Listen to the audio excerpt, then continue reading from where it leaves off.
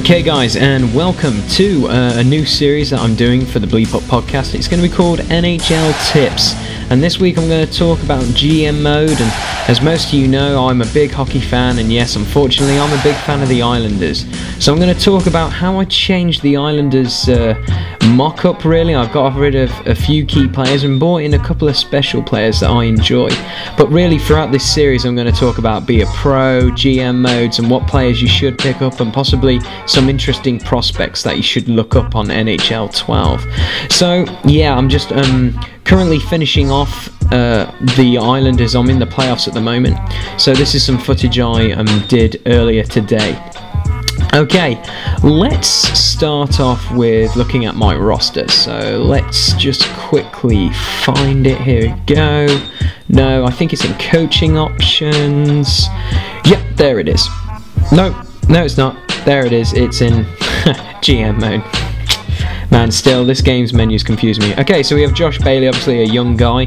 And then I got Johnny Boychuk. Now, Johnny Boychuk was a really nice trade. Um, at the trade deadline, Boston approached me with a trade for him, and I had to give up Nabokov well, not Nabokov, and a third round draft pick for him. But yeah, he's got a hell of a shot and he's fantastic. And he just gives that line a little bit of grit, which I need. Okay, yeah, uh, the next um, uh, trade I did was with for Kyle uh.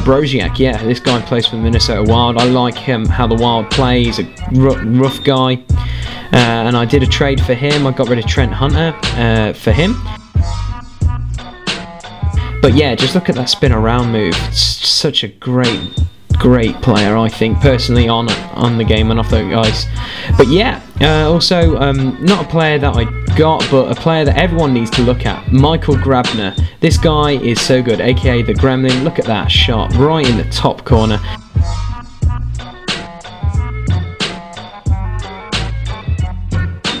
And look at this beautiful deke. Oof. He is so quick, fastest skater in the NHL, and he's got a nice pair of hands as well. Okay, going through the team, yeah, I got Travis Hamonic, Jesse Joensuu. I kept him in the squad, but I might get rid of him. But yeah, the trade that I absolutely loved, Erik Karlsson. Now, when I picked up Erik Karlsson, he was um, injured, and I traded him for my injured player, Kyle Okposo, uh, from the Ottawa Senators. But this guy is just everything I want in a defender. He's quick, he's amazing, he's fast, and yet he's got a heck of a shot on him.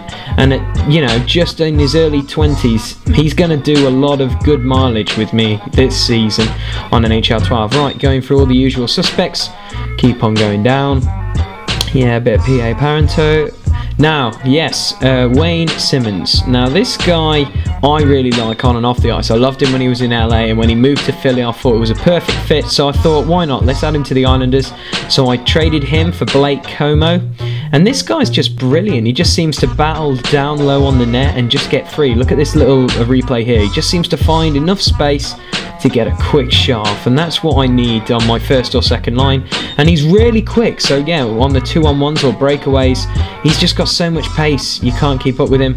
But the one thing I like about Wayne as well, he's a tough guy. He, yeah, he just adds a level of grit, but the problem is with uh, Wayne, he takes a lot of penalties.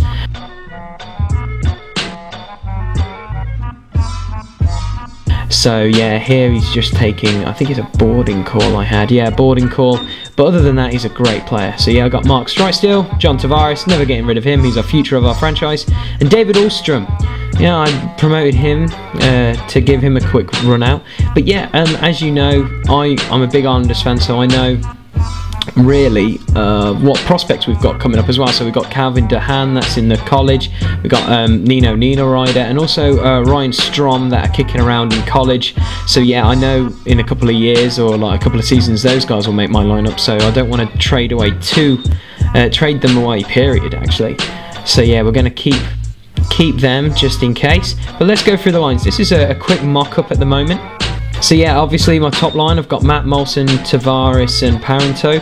And then I've got Carl Brodziak, uh, Frans Nielsen and Grabner. Uh, Jesse Joensuu, um, Bailey and Wayne Simmonds. Now I've currently changed this line. I've uh, put PA down here, as in PA Parenteau, uh, and put Wayne Simmonds on the top line. He seems to be doing way better. And on the, the fourth line, which I like to call the rookie line, I've got um, uh, Riesner on there with David Ullstrom and Matt Martin, but that will easily change to Ryan Strome or anyone else that I need. Okay, so this will move me onto my defense line. Obviously, you know, Erik Karlsson and Mark Streit, they're my big ones because they're amazing. And then obviously Travis Hamonic, a young guy who's gone through our draft system, uh, and Johnny Boychuk, and Mark Eaton, and Milan Lucic to finish off my defense. Okay, so let's get straight into the tips. Okay, my first tip is pretty simple really. It's trade wisely. If you're wanting to get rid of a star player and bring in a few youngsters or even probably a star player for a star player, make sure you're not getting ripped off. And always think in the back of your mind, is this really worth it long term? Second, and possibly the most key uh, essential I think for any team, is draft young and get players that are young. I can tell you now from my experience, I um, from what I've been playing, Trust me, youth is phenomenal compared to old. Even though old is a quick fix, on long term, it doesn't really help.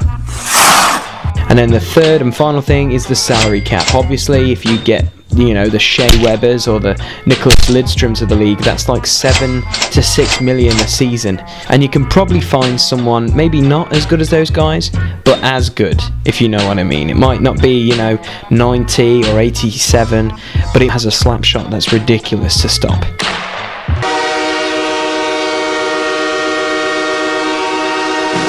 And that's it guys, that's the first video in the bank. I hope you guys enjoyed this NHL tip, I know I enjoyed making it, and just keep an eye out really for more videos to come. Okay, the next video is going to be called Quick Fixes.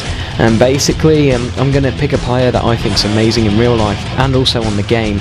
Uh, and really, if you draft or get him, your team could easily be changed around. And the first player I'm going to pick is Thomas Vanek from uh, the Buffalo Sabres. So guys, I hope you enjoyed this video, and yeah, please subscribe and leave comments below.